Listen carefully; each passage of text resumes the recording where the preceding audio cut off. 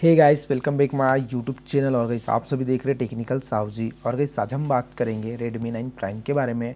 और गाइस हमारा आज का टॉपिक है how to use dark mode setting तो कैसे अपने डिवाइस में डार्क मोड सेटिंग यूज़ कर पाएँगे एंड इस्तेमाल कर पाएँगे तो इस वीडियो को लास्ट तक बने रहिए। वीडियो को स्टार्ट करने से पहले वीडियो को लाइक कर लीजिएगा और बेल आइकन को प्रेस कर लीजिएगा। तो गाइस यहाँ पर आपको अभी तक हमारे चैनल को आपने सब्सक्राइब नहीं किया तो प्लीज़ यार सब्सक्राइब कर लीजिएगा एंड बेल आइकन को प्रेस कर लीजिएगा। सिंपली आपको आपको सेटिंग पे आना होगा।